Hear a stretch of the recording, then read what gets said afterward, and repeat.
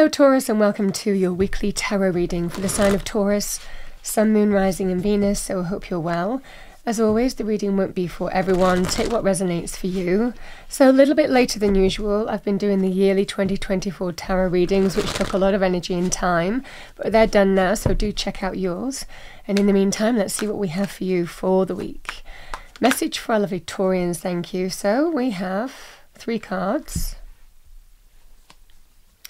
the Ten of Pentacles,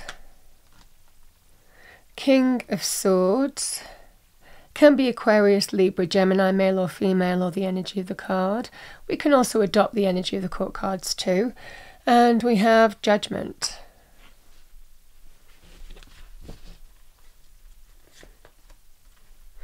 We have the Four of Pentacles,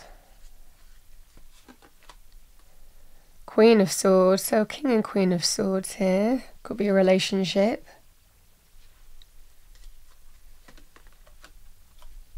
We have the Wheel of Fortune. Knight of Swords. The Death card.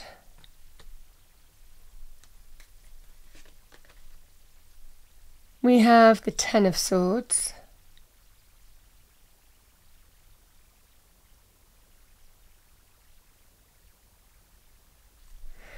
Yeah, and we have the Three of Cups.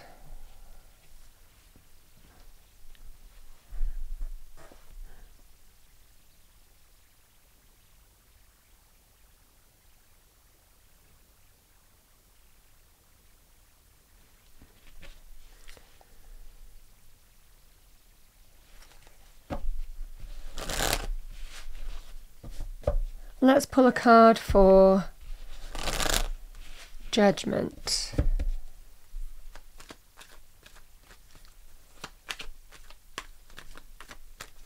Let's pull a card for judgment, thank you, for Taurus.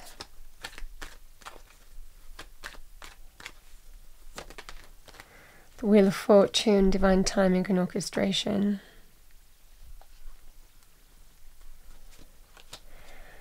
Two of Swords, yeah, I mean, it feels like there's going to be some kind of decision to make here, potentially weighing up a decision. And it's whether the Wheel of Fortune can be that sense of life cycles. It can represent that energy of, of transmutable energy of endings and beginnings, as I always say with that card. And it feels that kind of energy. It feels like you're going to make some kind of choice or a decision here, Taurus, in whether you want to stay on the cycle that you want or whether you do want to do something differently. But judgment is attached to this, which generally means that uh, you are choosing whether you give somebody another chance or a second chance, really depending on whether someone's coming back into your life that something might have ended before and something someone's coming back into your life or this could be about an existing relationship and this is whether you stay on the path that you want or you make the changes. Generally with the two of swords we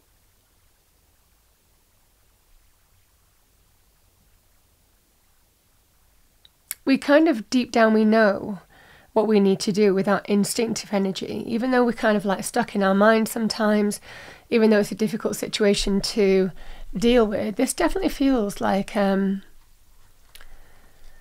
you're at that point where you're making some significant decision on what the right thing to do is.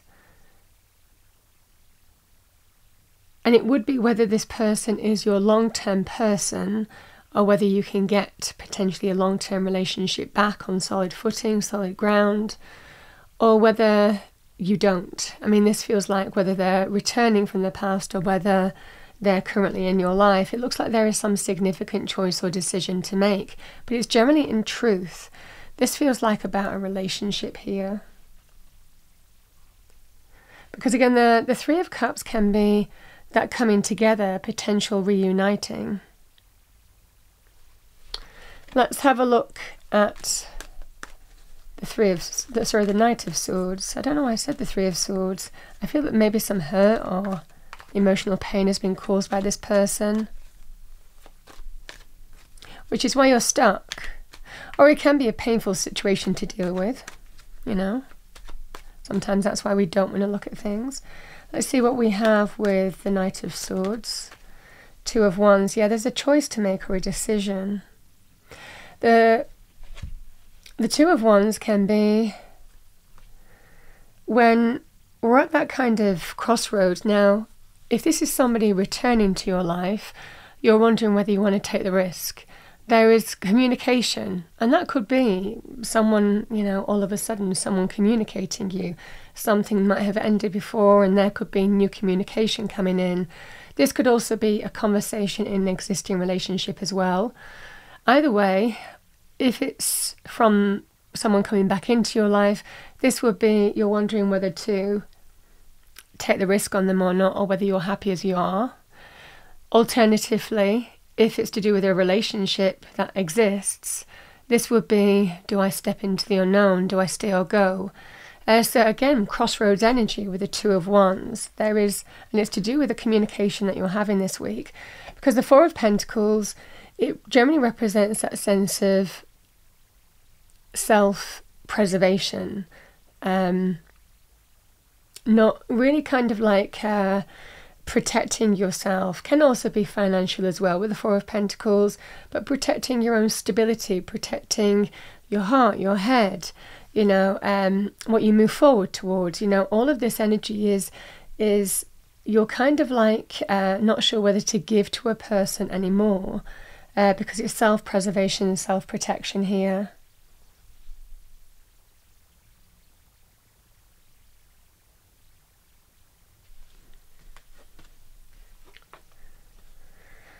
Could be dealing with some truth, whichever side of the fence you're on. Um, Queen of Swords energy gets to the very truth of a situation for what it is. This could also be someone communicating with you. Then there will be some choice or decision in terms of whether you end something or not. The Death card can be a card of endings, out with the old, in with the new, shedding of an old skin. It's all part of our rebirth and significant change that we sometimes decide that we're ready for. Um, similarly, here, if something already ended, it might well be a, a decision in terms of do I wipe the slate clean or not? You know, can we start over? So these are the kind of decisions and choices that you're making. But with the King and Queen of Swords, it's all about getting to the truth of a situation, doing the right thing by you in truth, and looking at things uh, the way they are, not necessarily how we want them to be. No rose tinted glasses here. This is absolutely getting to the very heart of the matter here to make decisions and choices.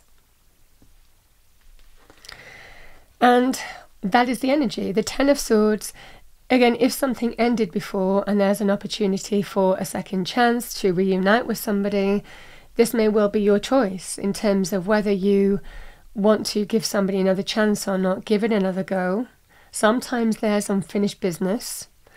Um, and surrender whatever happened in the past and give it another go. Similarly, here, again, this can also be in existing relationships can we turn something around or do I end this? And it's to do with coming together with somebody again. Um, also, very good, the Three of Cups in terms of advice from friends or family. Uh, either way, it, it feels here you're wondering where your long term, if this person is your long term committed relationship, there could also be other people to consider in the mix. Um, so that's why you're being really careful with your heart, your head, how you're moving forward, what you're giving to in a situation. But it definitely feels here that you're kind of weighing up. Two of Swords is is weighing up. Uh, sometimes we need a little bit more information, but really, this is for me as a reader think less, feel more.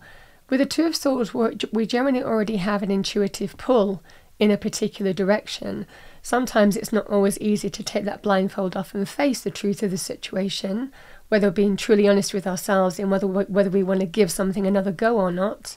It's in truth. Uh, but it's about trusting your instinct in this situation and facing the thing that might well be difficult to face this week. So that's what I have for you. It really is a card of, of think less and feel more because there's a strong energy of deep down you already know what you need to do. But if you need more time to make a decision as well, if somebody is pushing you, again, the Two of Swords can actually be sometimes when we need to wait for a little bit more information um, that we're comfortable in making decisions. So, however, this resonates with you, it's what you intuitively feel you need to do.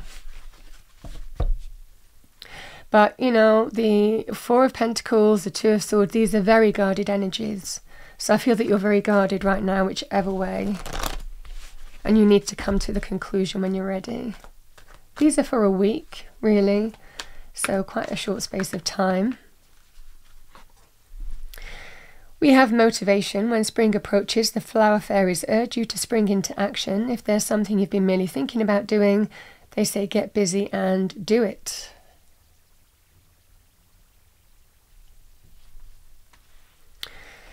That's what I have for you, Taurus, for the week. I hope you enjoyed your reading. If you did, please do like, share, and subscribe. I wish you a wonderful week. I will see you next time.